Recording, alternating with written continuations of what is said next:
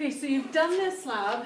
You have graphed pressure and volume, and Boyle's law, who, you know, Boyle was a scientist, he kept uh, the three things that can affect a gas, he kept what constant?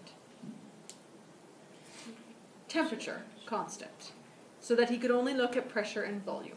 And essentially, you've got a balloon in front of you, and it has a pressure and it has a volume. And he said, hey, what happens if I squish the volume into half the size? What happened to the pressure? It increases, right? So what happens if you squish the volume into a third of the size? The pressure will increase by What's the pressure increase by? three, three. Three times the size. Do you see that?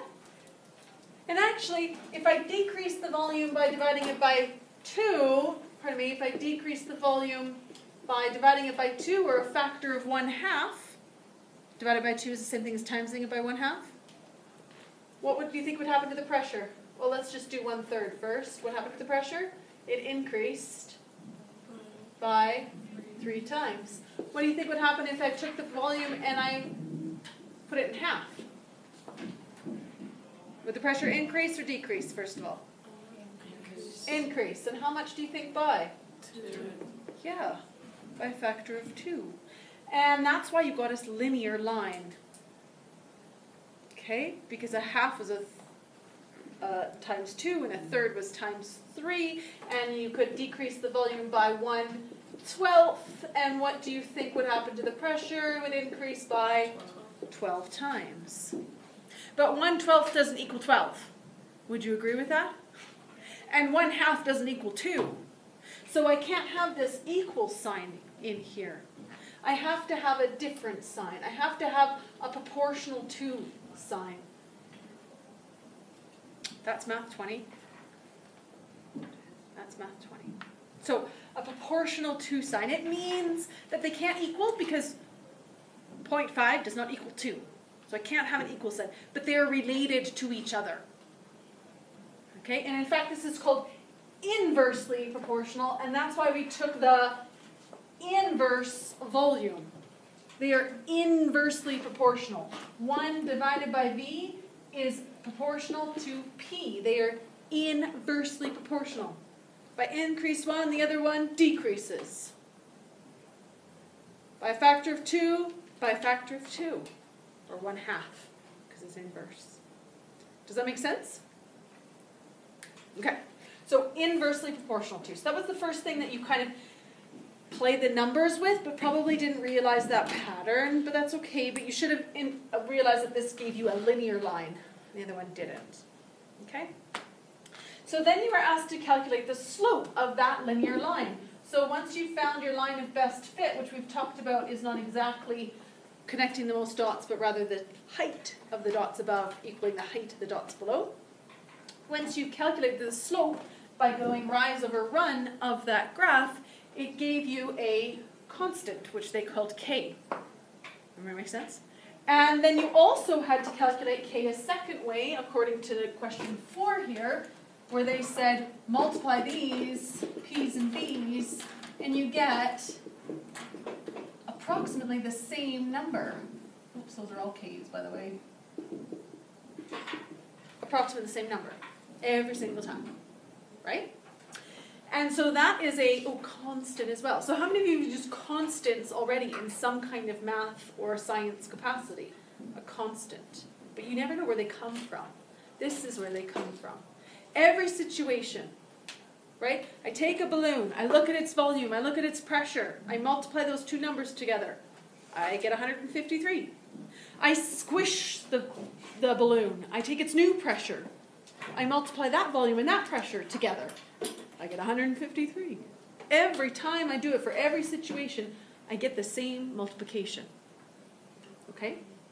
So the question here asks, in this conclusion, which method do you think is better? Taking the average of all of these k's or taking the average of this k here? Now, to be quite honest, I'm not bothered what you put down. But I do want you to understand this.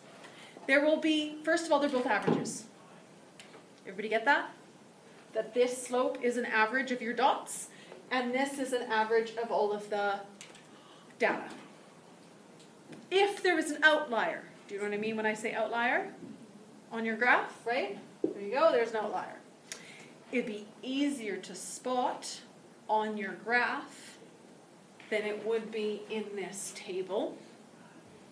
153, 155. Ooh, is that an outlier? But if you can see how far it is from the line, that's a better visual outlier. Does that make sense? So that might be part of your argument that a graph is better for calculating your k because you can see an outlier. I'd be happy with that answer. Okay? That this is a better a value of k. By the way, slope is better. Okay, that's the real answer. But I could see how you could argue that this is better because you take all the data points. And that you might make a mistake with your line of best fit. Right? There's a bit more margin for error about your skewed data here. So I could see how you would argue that. But providing that you've done this correctly and this correctly, this is the best. Because it definitely shows you, number one, outliers, and number two, it takes away any anomalies. Any like line, any like a little bit too, vol- like the volume was measured a little bit too, whatever. Okay? Okay, and is Boyle's constant the same for every gas? Yeah, if I fill my balloon with air and I squish it in half, the pressure will double. If I fill the balloon with helium and I squish it in half, the pressure will double. So the K value remains the same for every single gas. Okay? Why? Because every gas behaves the same way with the same properties. Right? Do you have those answers written down? Because your pen should be going like a mad if you don't. Mm-hmm. Okay, I'll give you two seconds to write that down.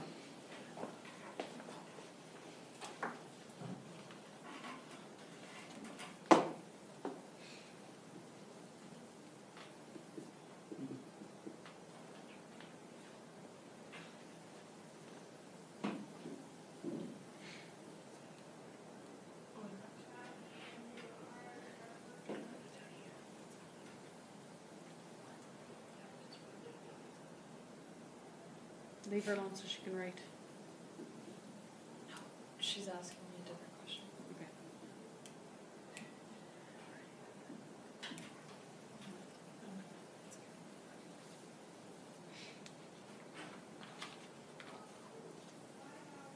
I'd really like to move on. Can I move on? Got ten seconds.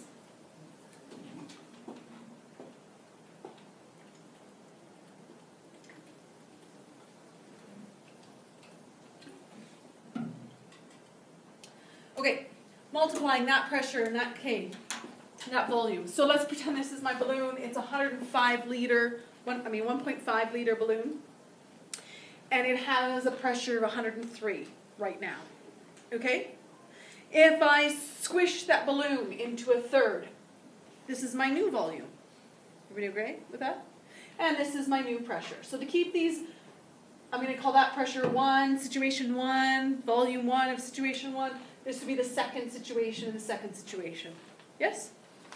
And if I take that pressure and I multiply that by that volume, I get a constant.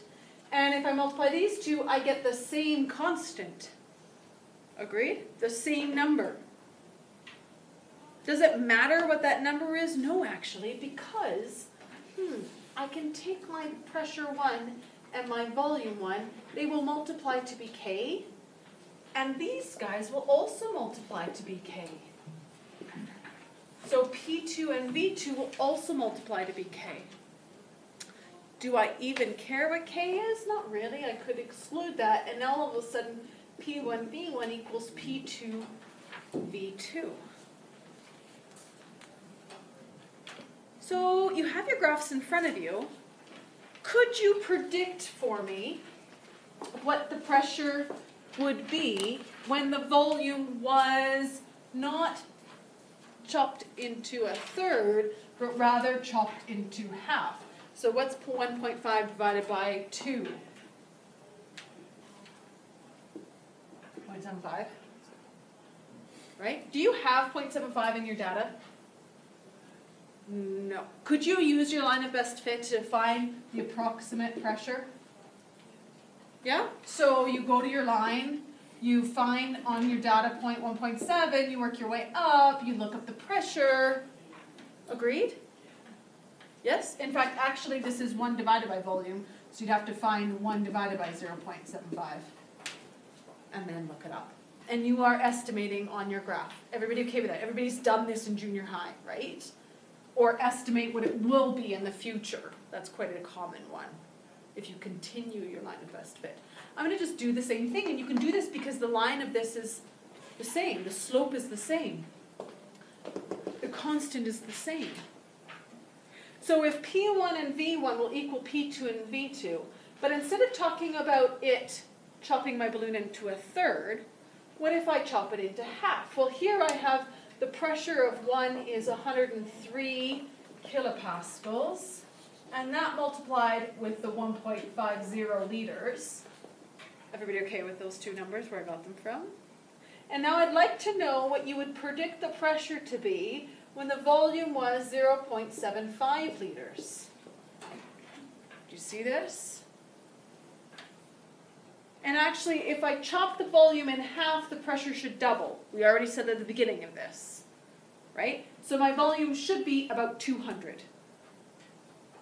Chop the volume in half, pressure should double, the volume, the pressure should be about 200. Agreed? Well, let's do the math. Grab your calculator, start tapping, tapping.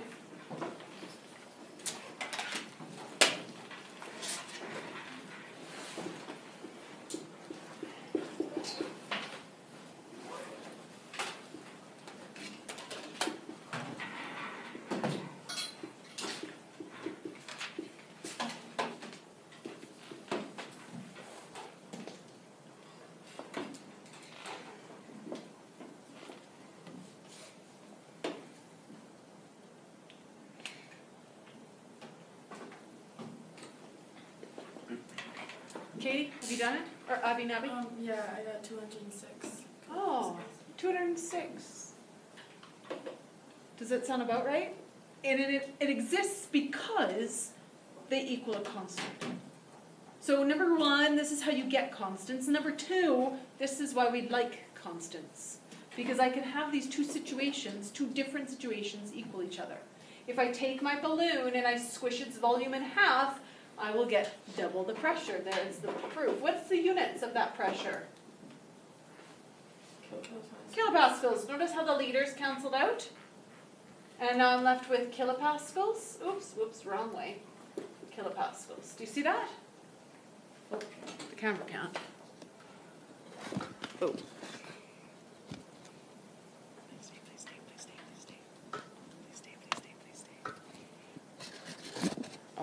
Guys. Uh-oh. Okay. All right, so uh, my last point before you get going is this.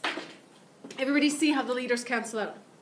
Everybody understand that that's just a variable in algebra and the L's canceled.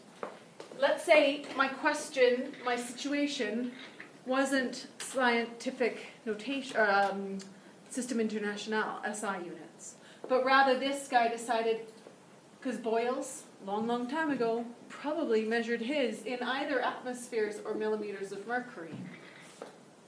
Now, what are my units? Liters still cancel out. What are my units here? Atmospheres are left. Okay, so it actually doesn't matter what my units are for the pressure. Atmospheres, millimeters of mercury, right, we talked about that on day one of this package. There are three different units, and I expect you to know all of them because I can equate them, I can put them into these formulas. Does that make sense? Any questions? So, on the next bit of the package then is some practice on P1, V1 equals P2, V2. Make sure you're thinking about your significant digits and make sure you're thinking about your units. You must show me all your work like you would in normal math class. And then if you finish that quickly, you can go on to Charles's law and Charles's law graph. And now that you know what you're doing for graphs, because I've just handed you back Boyle's law, I will mark this graph out of 10. Have they plotted all the data points? Have they got a good title? Have they labeled their axes properly? Have they got a good scale? Is it more than half a page? Five out of five. Okay? So this lab you're going to be handing in, you should be done by the end of next class. So for those of you that are on the biology field trip, who are you? Oh, good. We're all here tomorrow then.